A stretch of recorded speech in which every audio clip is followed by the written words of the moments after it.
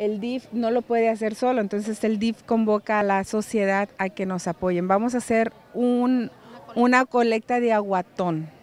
Vamos a trabajar con ustedes, con los medios, vamos a ver cómo, eh, para qué, para poder llegar a más gente, porque es muy importante, hay mucha gente con mucho problema de agua. Son 11 municipios de los 18 que tenemos que tienen sequía.